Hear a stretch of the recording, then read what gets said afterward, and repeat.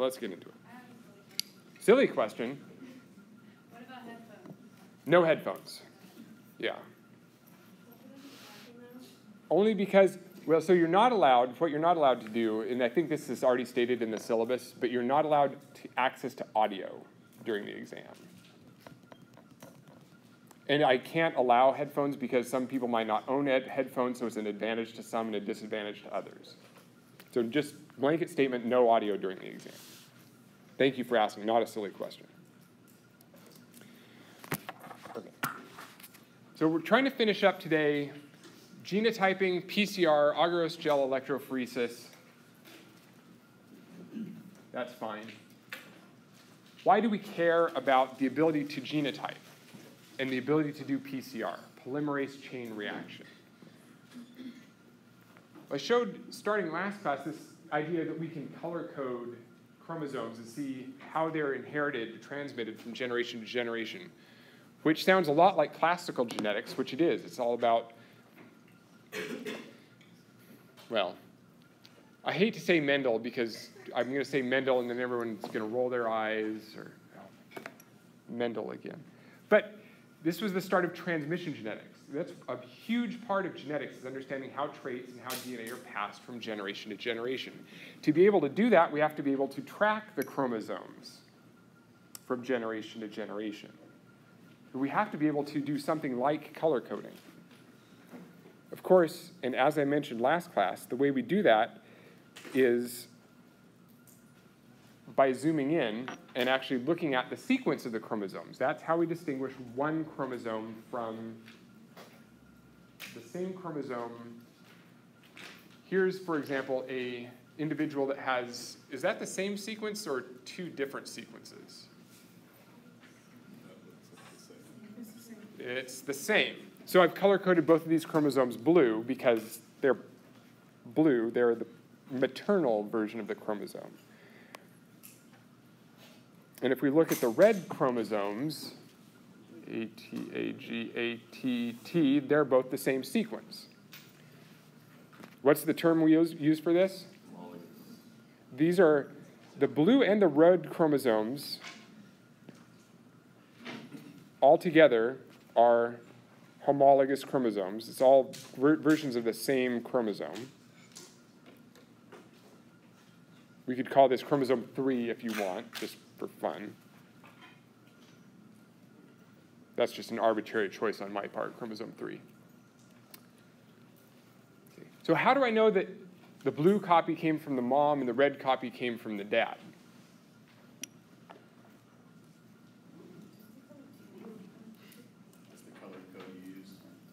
So that's the color code I used, but how did I know there's a sequence difference? Which now is hard to see because I haven't blown it up as much, but to be able to compare the red and the blue chromosomes,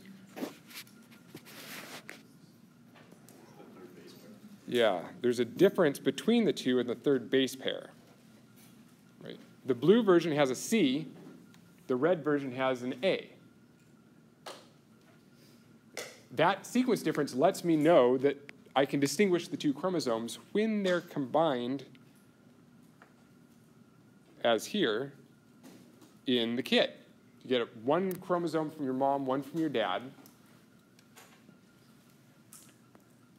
So this gets at another important vocabulary item from last class that we didn't talk about yet, but should be review.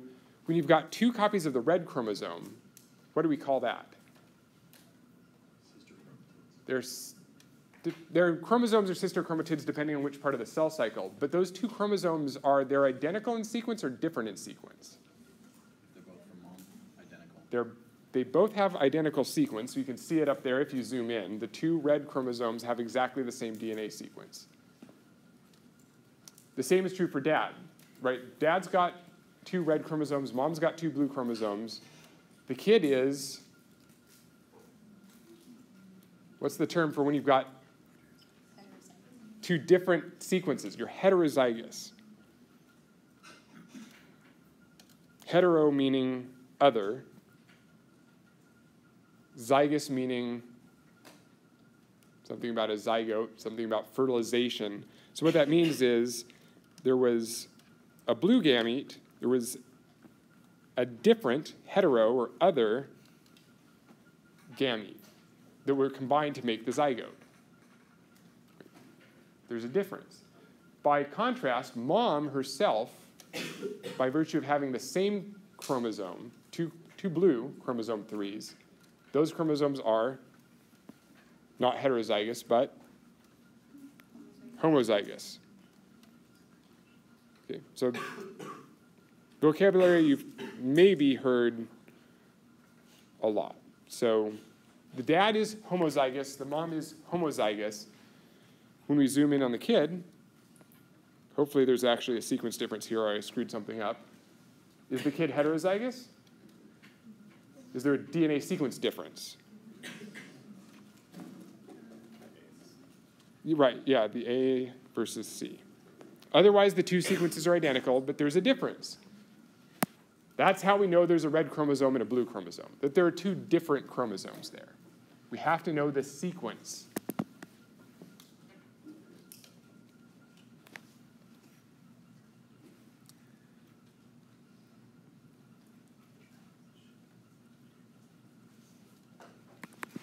Has entirely to do with the importance and the relevance of genotyping.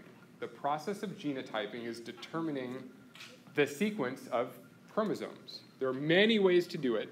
One of them is DNA sequencing. You extract somebody's DNA, you actually read out the sequence of the letters, like shown here in this graphic. But DNA sequencing is kind of expensive, so there are a lot of less expensive ways to do genotyping to determine the DNA sequences between chromosomes. And that has entirely to do with PCR and agarose gel electrophoresis.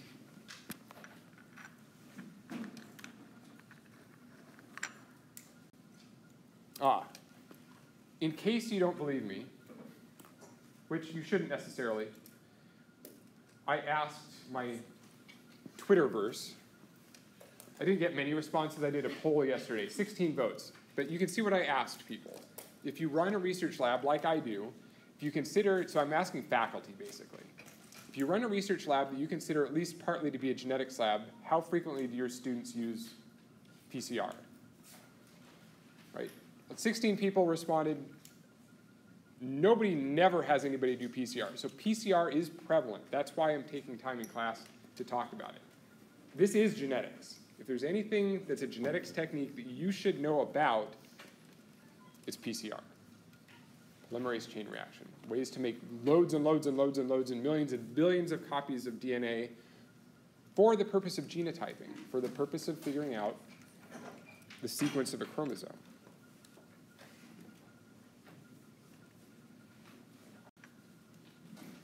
There's a lot of vocabulary up here. Don't stress out. We're going to talk about a lot of it today. Not necessarily all of it, but almost all of it. And here are the tasks. We've already done a couple of these. We've already started working on homozygosity and heterozygosity. We've talked about alleles already. That was last class, talking about different repeats of microsatellite units, those allele frequency tables. That whole thing we did last class. So right now, basically we're left with PCR and agarose gel electrophoresis. And while I'm here, another way to study for the exam, you might recall, you might not recall, at the start of the semester I mentioned that for every topic I've put out for you this list of tasks, things that you should be able to do by the time we get to the exam. It's basically a generic exam. So look back at all the topics all the chapters in the manual, they have a list of things that you should be able to do in that chapter. It's a great study guide for practicing for the exam. Right? Not specific questions, but things you should be able to do. So it'd be good to review that before Tuesday study session, review session, and ask questions about any tasks you have questions about. Okay. Last thing before we get to gels and PCR, Socrative quiz from last class. So haplotypes and genotypes, always confusing. I'm not going to show you the answers from class, but these were definitely, there was a mixed bag of answers to these. So here are the answers. For CT and GA, which is a haplotype? GA is a haplotype. And CT is a haplotype. For CT over GA, which is a genotype, C over G, C slash G is a genotype. That's it. Or Ross, would the other one be T slash A, or no? Ah, so if there was, a good point. If there was a D here, and it was T slash A, that would also be correct.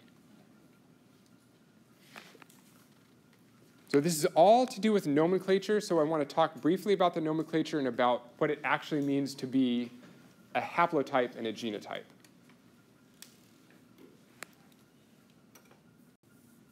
That's the goal. So two goals today. This is one, then we get to agarose gel electrophoresis, PCR.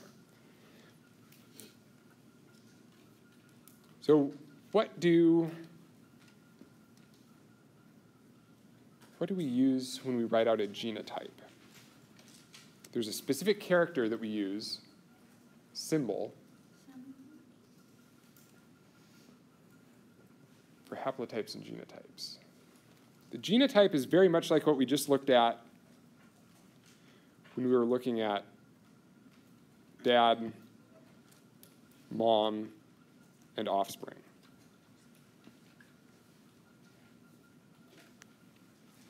I don't remember which letters were unique to the red chromosomes and the blue chromosomes. You could probably tell me if you want to, but I'll just make up new ones. So let's say the red chromosome had T's and the blue chromosome had A's. And so the kid, the offspring, was a heterozygote, we said, isn't the same at this spot on this chromosome. We've got different nucleotides. So what, how would we write the genotype of the kid? The genotype is simply a description of, at one spot on one chromosome, or at multiple spots on multiple chromosomes, the composition of the two chromosomes, the nucleotides. T slash A. So we literally write T slash A. Thank you. The slash, as you saw, this is from one of those little videos that were on the QR codes last class. Hopefully, you went back and watched all of the videos, not just the one that you watched for your group. If you didn't go back and watch all three of those videos, I suggest doing it. The slash indicates what? It represents something. It's the, yeah, it's physically separate. We're talking about the nucleotide on one chromosome, one piece of DNA, and the nucleotide that's on the other double helix.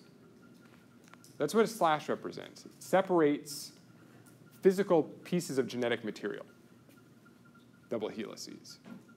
So that is a genotype.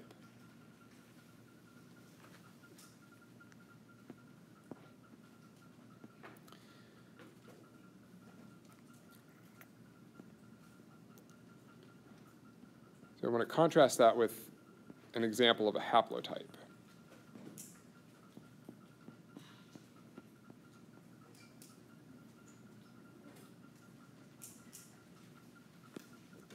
So what have I drawn here on the left side?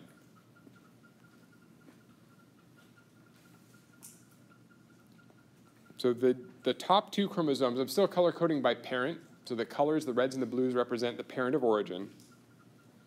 So what am I circling here? Homologous chromosomes. Homologous chromosomes. So these are both, for example, again, say that's chromosome 3. And down here we've got a smaller chromosome, so we'll call that chromosome 19.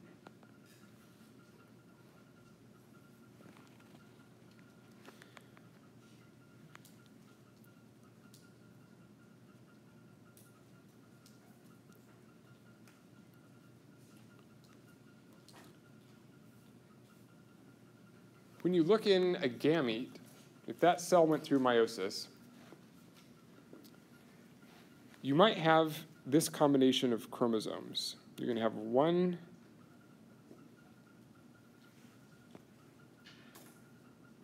red chromosome that's got a T, you're going to have, sorry, that's chromosome 3. Chromosome 19, you've got a G. Sorry, I had to make the chromosomes smaller. Those gametes are tiny. That's a haplotype. That's a combination of DNA sequences that are on the uh, they're on different chromosomes usually. They could be on the same chromosome, but it's the, what is representing the sequence on multiple chromosomes in one cell that's a gamete.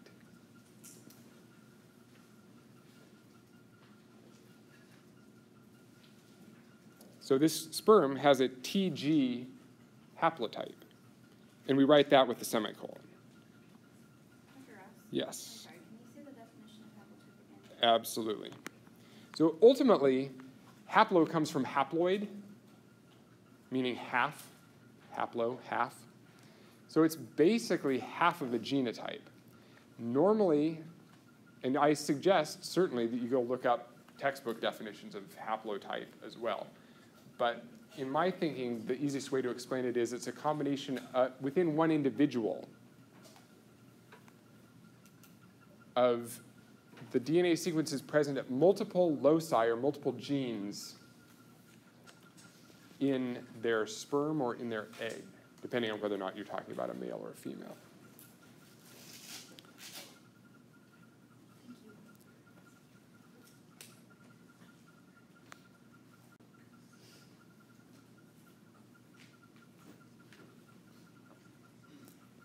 So maybe a better way to demonstrate what I mean by a haplotype is to look at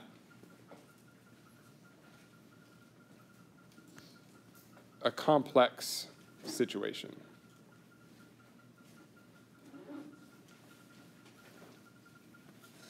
And then draw it out. So we'll start with two with a genotype. We'll break it down into the genotype and the haplotype components, which is what that Socrative question was all about. Right? From this sort of a situation, what's a genotype and what's a haplotype? So let's review. The slashes mean what?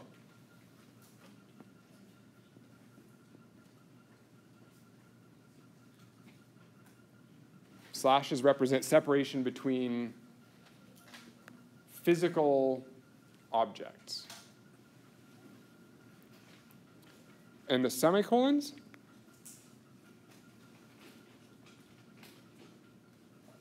Semicolons represent different chromosomes.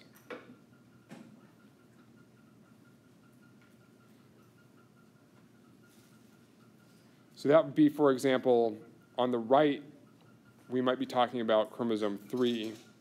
The number on the left, we might be talking about chromosome 1. So we're talking about different homologous chromosomes being separated by semicolons. We're talking about different sister chromatids, or versions of the same chromosome number, when we're talking about slashes.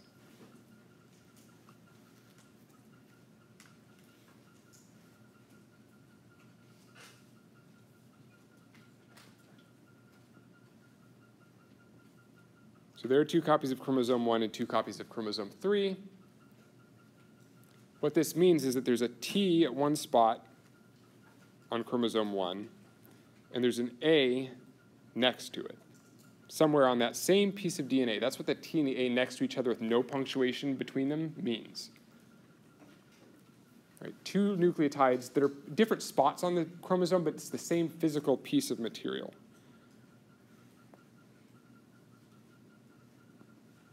So the TA are next to each other on one piece of DNA, same there. The slash means now we look at the other sister chromatid. So what am I going to write on it? There's a G and then an A. Physically linked together, next to each other with no punctuation in the actual genotype, what's written at the top of the screen.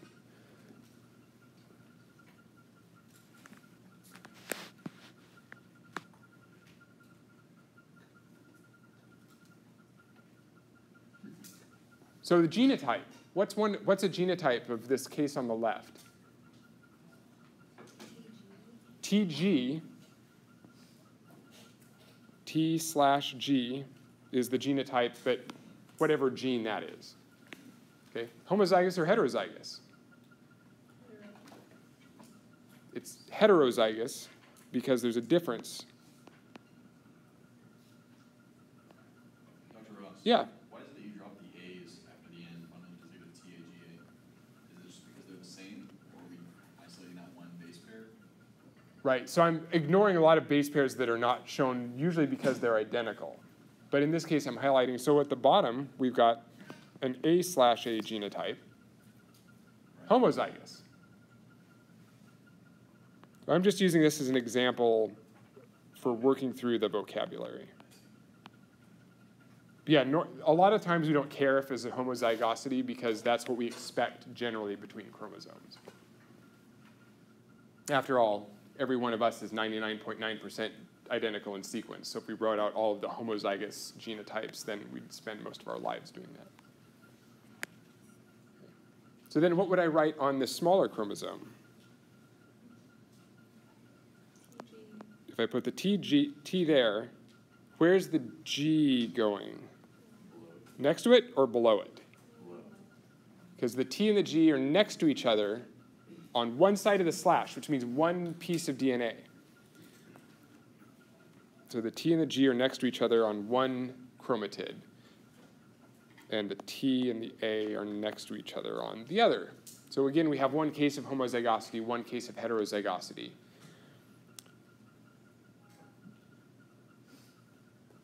Another way to think about this, looking up at that top line, is that genotypes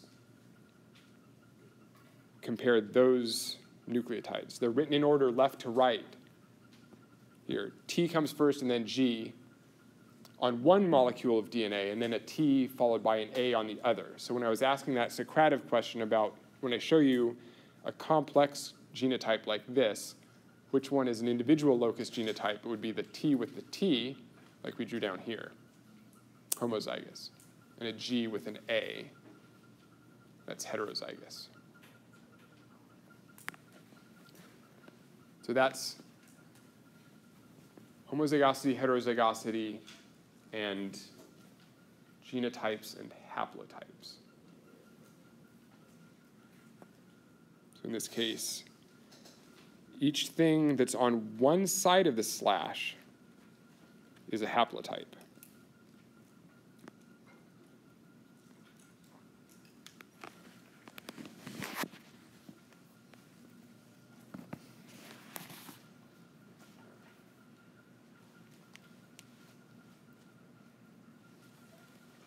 A haplotype represents what's on one piece of DNA, genotype represents the sequences on the two homologous chromosomes. How do we annotate, uh, genes that are multiple base pairs? Do we just do it off the top, it's the same? So this, yeah, so it's a good question. How do you, what do you do when you're talking about multiple genes? You could consider that these chromosomes, as I drew them, are actually, that could be one gene. So we know that a single gene could be hundreds or thousands or tens of thousands or hundreds of thousands of base pairs long. It will have multiple heterozygous locations across it. So you can rock, write out a haplotype that involves multiple loci within a gene, and it looks exactly the same. Are So it's, they- it's a matter of scale. Right, are they numbered, or how does that, sorry, just, Yeah, normally you would number these according to the, which we'll get to more when we talk about transcription and translation, but we talk about numbering within the gene. okay. Yeah. We've already talked about homozygote and heterozygote. Excellent. So any questions at this point? How many questions? Not just any. I know there are. There will be examples of this on the mock exam to help practice We've talked about homozygosity, heterozygosity, haplotypes, genotypes.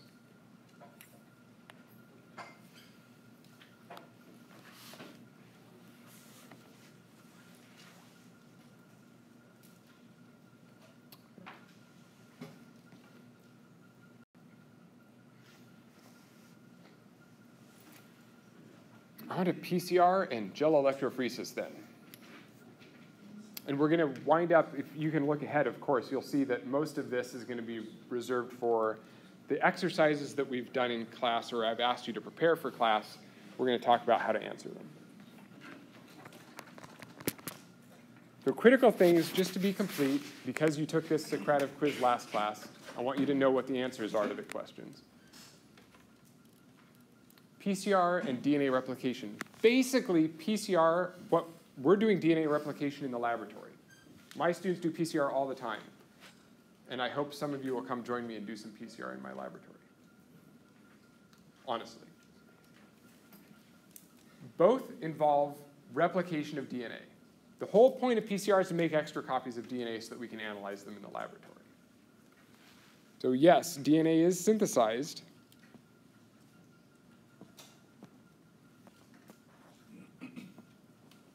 That's the whole point of PCR. It's exactly the same as DNA replication. And yes, we in the laboratory use the same thing that we use in our cells to make those copies of DNA. We use the same enzyme, DNA polymerase.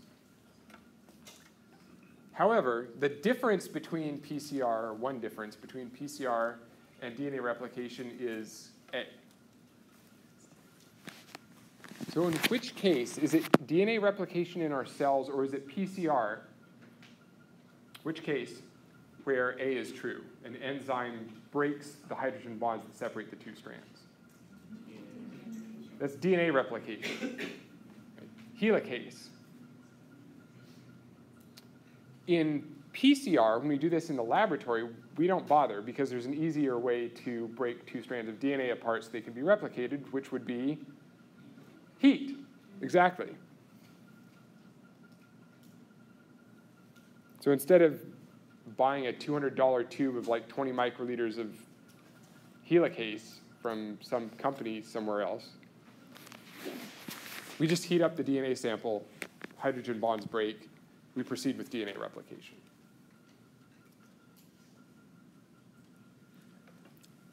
Most of you got question six right, so I'm not going to go into great deal. We're going to go through how to design primers in just a minute, but it's where we, scientists, design the primers to anneal on the template strands of DNA that define how much DNA we replicate using the PCR technique.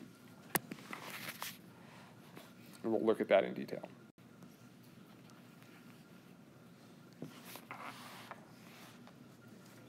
This next question is boring. It's just a vocabulary question.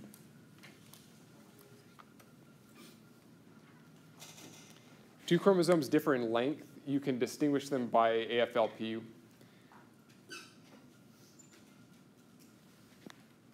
Don't worry about it. I hate questions about vocabulary. I shouldn't have even put that on there. But you should. It would be useful for you to go back if you don't know the difference between A and R. Go back and revisit that concept. There's, there's a difference between an AFLP and an RFLP that's useful to know. Okay. The most important thing for today is question eight. And most of you got this right. So how does agarose gel electrophoresis work? You have this piece of jello, basically, three-dimensional, and it has little depressions in it that we call wells. And we can pipette DNA samples into those wells And we apply electrical charge. This is just a review from the video. We apply an electrical charge. So the DNA starts up here at the top inside the wells. It's a liquid solution. And then we pull it through the gel based on electric current. What's DNA's charge? Positive or negative? Negative. Negative. It's phosphate groups on the backbone. So DNA is going to move, DNA itself is negatively charged. So it's going to move towards the positive end of the gel. I'm really bad at drawing arrows, apparently. So that has to do with which of those four options? well, D, charge. There's one other correct answer there.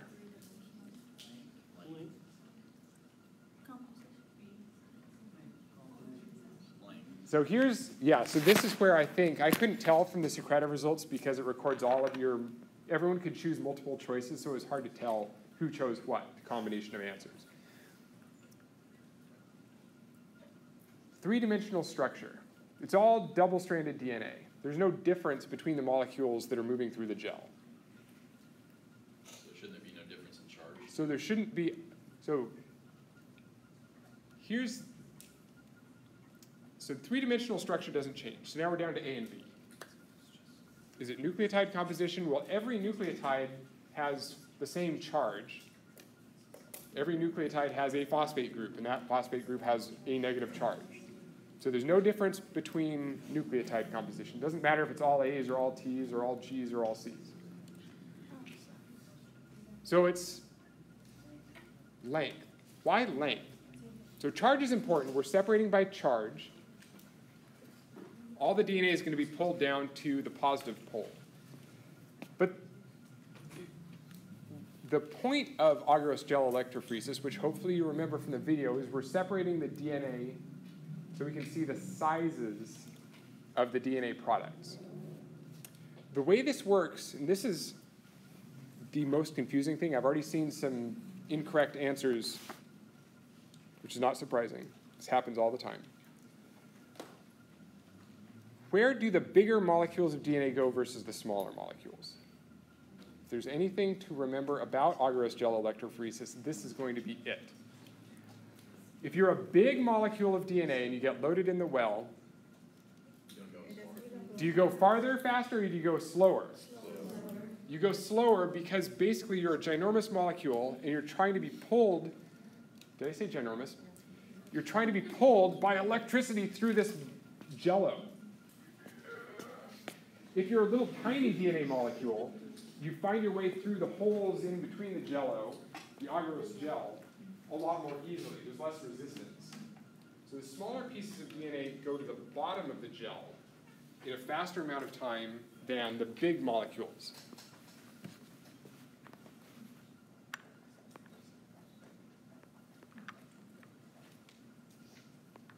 So, length and charge. Charge is essential just to get this process to work, to pull DNA through the gel. But what separates the different sizes of DNA is their size. So you have to have an electric field, and then after that, small pieces of DNA go farther through the gel than the big pieces of DNA.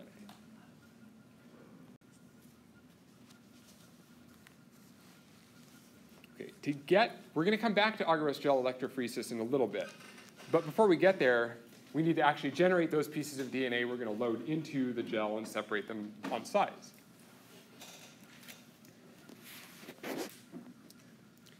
So this was one of the exercises. I've had a number of conversations with a few of you about how to solve this.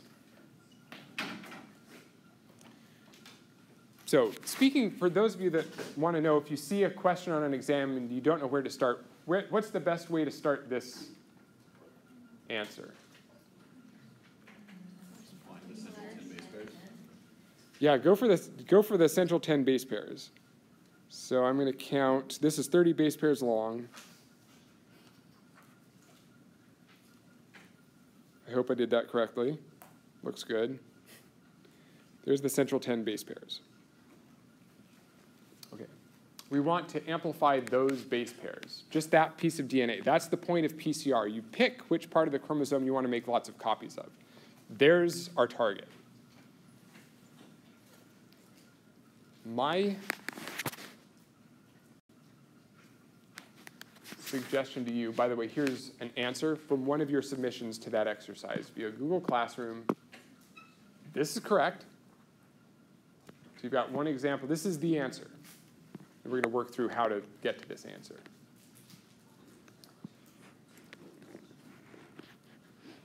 So this is exactly in the format I'd like.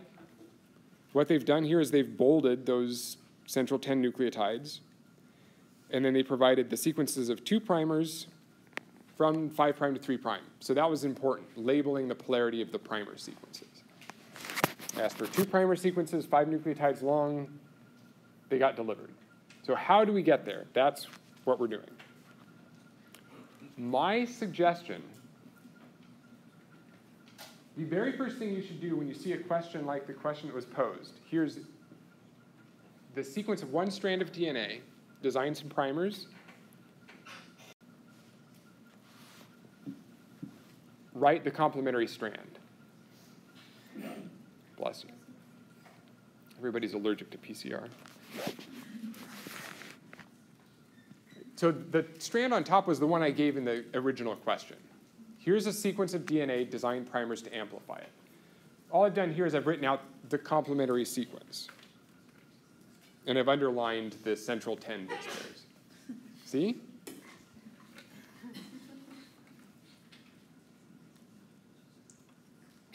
Okay. PCR primers are just like the primers that primase creates during DNA replication. DNA polymerase, remember, is the same enzyme that is used in our cells that we use in PCR to make the new molecules of DNA. It has exactly the same rules, it requires exactly the same things. What does DNA polymerase need to start synthesizing a new strand? It's got a, it needs a template, which we have now. So we have two template molecules, both in black. They're hydrogen bonds, which I'm not drawing the number of hydrogen bonds for each nucleotide, but they're hanging out there in space, ready to hydrogen bond with either the other template strand or a primer that we've designed that we've stuck in this tube with the template. What else does DNA polymerase need besides that template molecule? Yes. A 3' prime nucleotide, the hydroxyl, to grab onto and start adding nucleotides onto. So the question is, where is that going to be for the top strand? Where along here, underneath, where the hydrogen bonds are ready to base pair with a primer, where here do we want to have that 3' prime end so that we synthesize that copy, make the second strand of that underlined segment? Where's the 3' prime end going to be? Here on the right or here on the left? To the left, to the right. Well, it's going to be anti-parallel the primer is going to be pointing the opposite direction as the template strand. So if the template strand is the 3' prime end on the right, then the primer's 5' prime end is going to be somewhere here, which means it's 3' prime end that needs to be pointing into the spot we're going to copy. That free 3' prime end, RNA, DNA polymerase is going to grab onto and start synthesizing. Has to be over there on the right. And it has to be complementary in sequence. So if you wanted to make, for example, a five nucleotide long primer, that would be its sequence from 5' prime to 3'. prime. So reading it from right to left, 5' prime to 3', prime, G, A, T, C, G. That would base pair with the template strand and then there'd be that 3' end. RNA polymerase would grab onto that 3' end, it would start moving this direction, it would incorporate an A, and then a T, and a C, and a G, complementary to the top strand template, and it would keep going. So we're synthesizing the second strand of this template. We're copying, we're making, we're replicating DNA. So 5' GATCG will synthesize the complementary strand of the top template strand. So that's one primer. Now we need the second primer.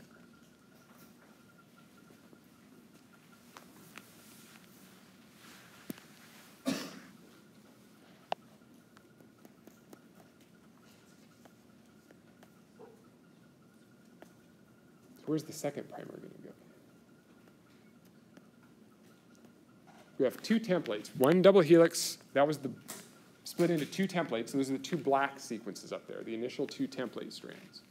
We've already got the second strand of the top template going. What do we need to do to get replication on the bottom strand?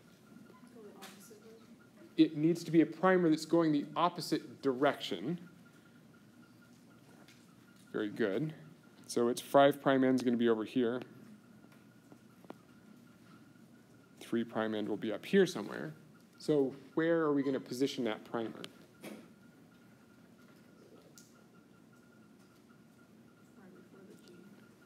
Right before the G. right before the G.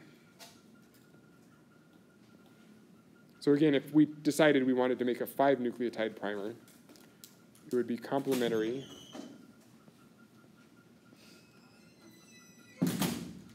There.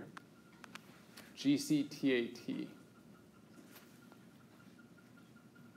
And it's three prime end there is where there would be an RNA polymerase. So say there's a three prime hydroxyl, bind there, and start adding in the new DNA nucleotides.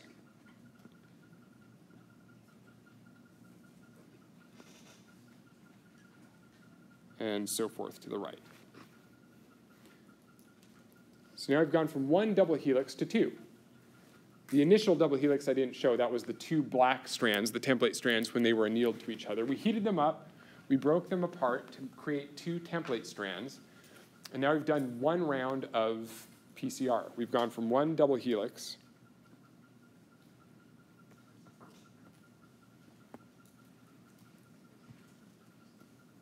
which looked like that.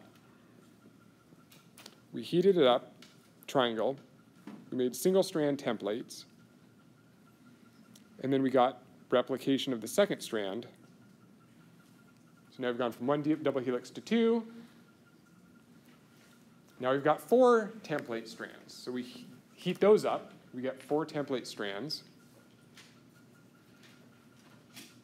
One double helix to two, from two double helices to four, four to eight, eight to 16, 16 to 32 exponential growth.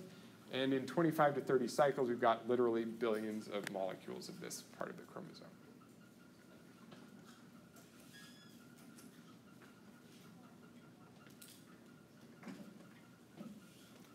The most important thing to notice about this, of course, is look here.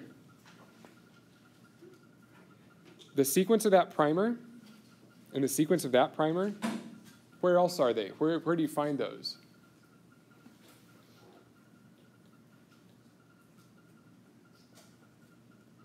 They're identical in sequence and polarity to the other strand.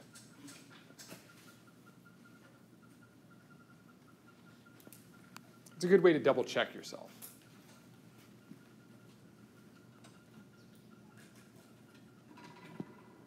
And that's because the second strand, the other template strand, just like a primer, has to be complementary in sequence and anti-parallel in orientation.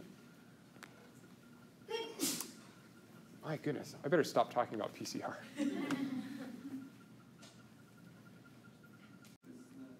Okay, so there's, there's an important, thank you very much.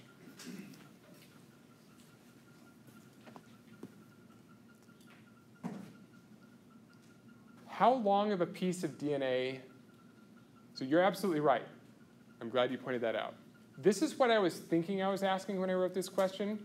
It turned out the answer that I showed you on the slide before this one, the student response, was a more correct answer than this.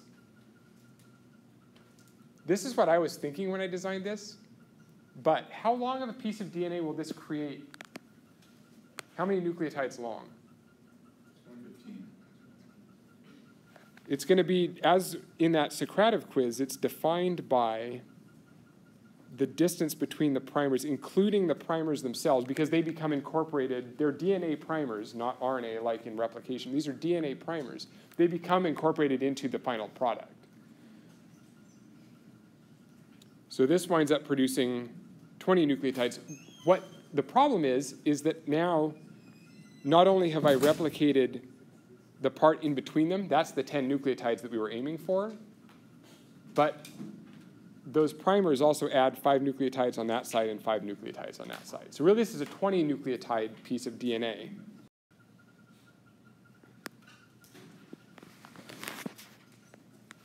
Okay.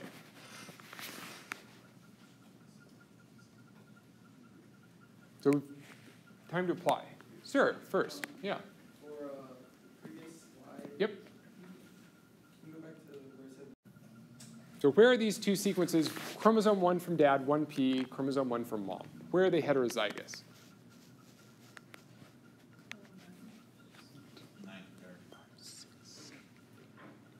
Okay. So here, the ninth nucleotide.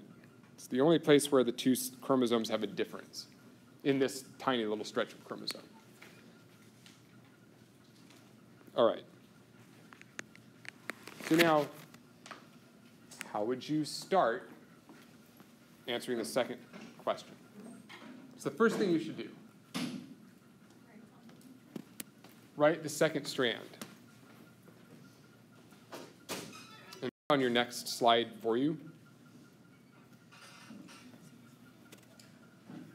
I know I shouldn't do the work for you, but I couldn't help it.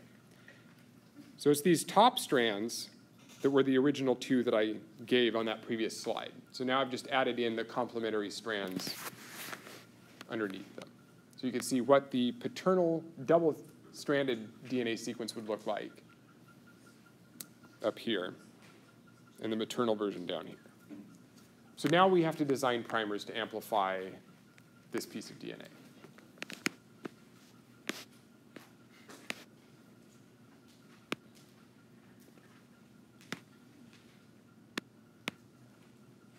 What do you think?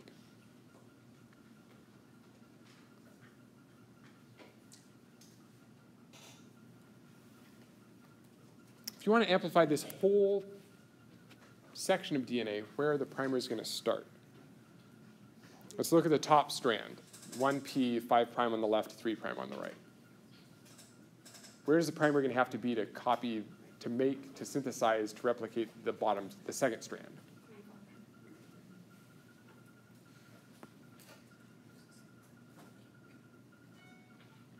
Well, it's going to have a 5' prime polarity on the right and a 3' prime on the left. So, you, are we going to have the primer on the right side or the left side? On the right. the right side because that means its 3' prime end will be positioned where DNA polymerase can finish replication towards the left. How long do you want the primer to be?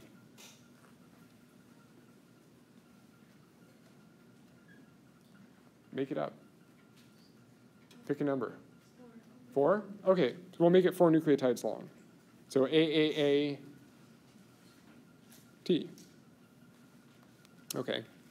Good. We designed a primer. That's a good answer. There are other answers. You could make it longer. You have AAATTT if you want. What about the other strand? This strand. Where are we going to put the primer that's going to copy that? The left side or the right side? It's going to be the opposite. It's going to be the left side. And its sequence will be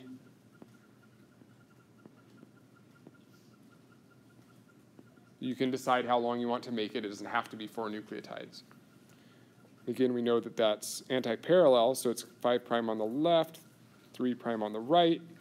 And again, RNA polymerase, DNA polymerase comes in and binds those 3' prime ends and synthesizes the second strands.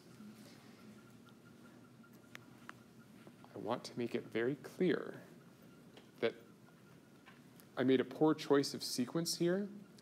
It is not usually the case that the two primers will have the same sequence. That's just an artifact of this particular question. You'll notice they both, from 5' prime to 3', prime, the sequences are the same, AAAT. That's just because of the sequence I chose, the template strand. Usually they're going to be different sequences, the two primers. And these can both be used for the maternal strand as well, which is usually the case. We want the primers to be able to amplify both of the strands at the same time, both of the sister chromatids, both of the chromosomes, the paternal version and the maternal version. So if we do this, once replication is complete, this is what we've got. And I know you love me watch out writing complementary strands as much as I like writing them, but this is going to be useful for the next thing we have to do.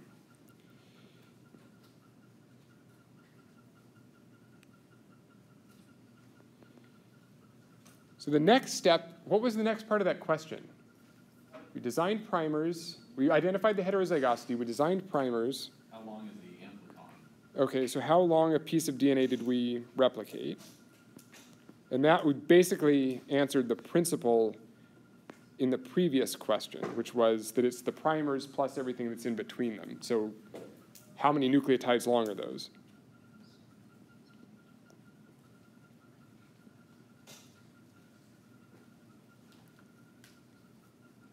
Eighteen nucleotides.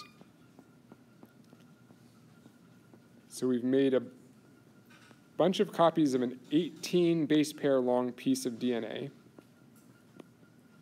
There.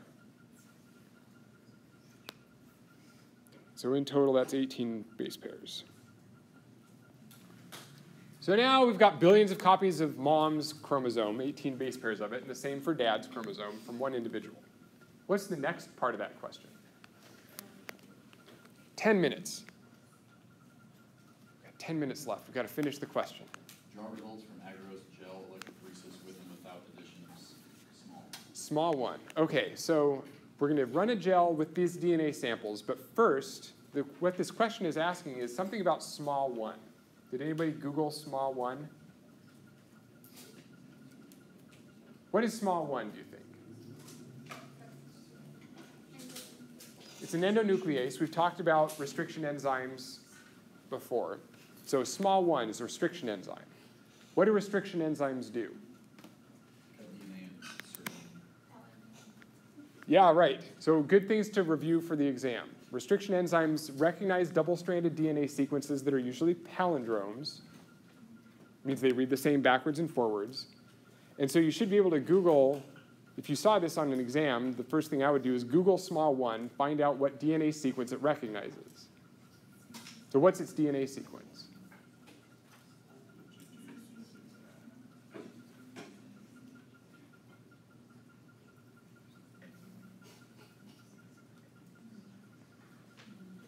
SmaI recognizes CCCGGG, which is here, not surprisingly, because I put it in the question on purpose. Here's a CCCGGG palindrome, right in the middle of this piece of DNA. That's 18 base pairs long. We already agreed on that. So what's going to happen, by the way, notation. When you look up something about how a restriction enzyme cuts, it will usually indicate, the result will indicate where it cuts with a little caret, or whatever you want to call that exponent key. It's a caret, little upward pointing V or a downward pointing V. So SmaI cuts in between the C and the G in that six base pair sequence when it sees it. So we've got an 18 base pair amplicon from dad. If we treat that 18 nucleotide piece of DNA with SmaI, if we add the enzyme, what's going to happen? It's gonna cut it directly in the middle and leave both ends blunt. Yes. And we're not going to worry about the blunts right now, but um, yes, that wasn't the video. I'm not going to concentrate on that for exam material. But there are two different types of enzymes leave sticky ends or blunt ends. This is a blunt cutter. And so SmaI will cut dad's chromosome where it recognizes that sequence, CCCGGG. It's going to cut it in between the C's and the G's. So that's going to produce not one molecule of DNA, but two of, as you said, sir, equal length. So we're going to get a nine base pair fragment and a nine base pair fragment.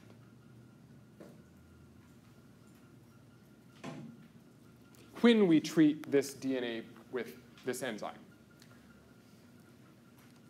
Is the same true for what mom's chromosome looks like? No, because she doesn't have, there's a SNP, a single nucleotide polymorphism. She's different, she's heterozygous. That heterozygosity means she does not have the SmaI recognition site. She's got CCGGGG, which is not something that SmaI would bind to and cut. So when we add SmaI, the enzyme, to mom's DNA sample, what happens? There's no good. Nothing. So we wind up getting an 18 base pair piece of DNA. Yep, one long piece of, nothing happens. So the last thing we have to do is gel electrophoresis. We put these samples into the gel. We're going to have, let's see.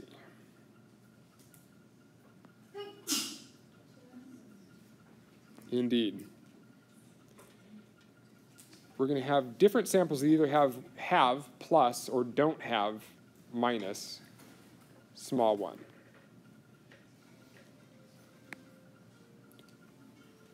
So what's the size of DNA we get when we add the uncut dad, 1p with no SmaI, minus? That piece of DNA is 18 nucleotides long. So it's going to run and form a band on this gel of a certain size. 18 nucleotides goes, it's a pretty small piece of DNA, goes pretty quickly through that agarose gel towards the positive end. And in the absence of SmaI, what do you predict the chromosome one from mom looks like? We haven't added the enzyme. No SmaI. Same length. The same primers amplified the same 18 nucleotides of mom's chromosome.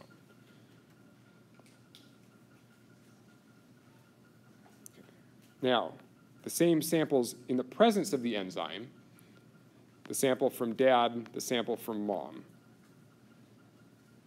What does dad's look like?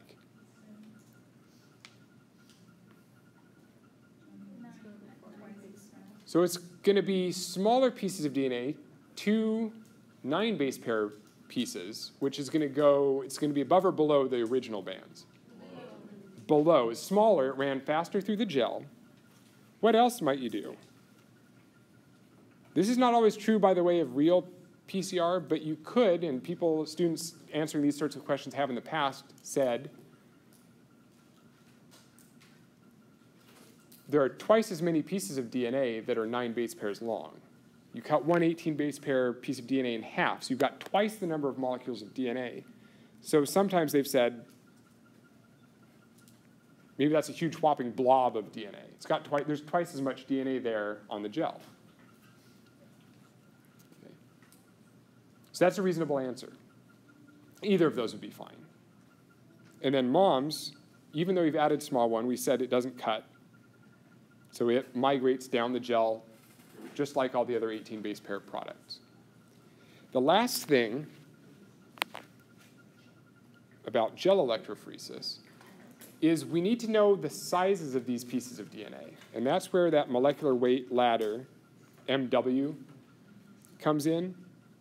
And that is a sample of DNA we add that's got pieces of DNA that we know what their sizes are. So that might be, for example, five base pairs, 10 base pairs, 25 base pairs. So we can estimate that that blob is somewhere between 5 and 10 base pairs large, and those bands are somewhere between 10 and 25.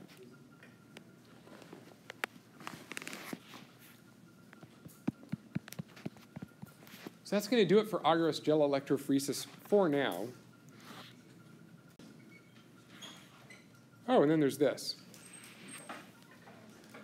And I've got a minute left, so I can tell you all about this.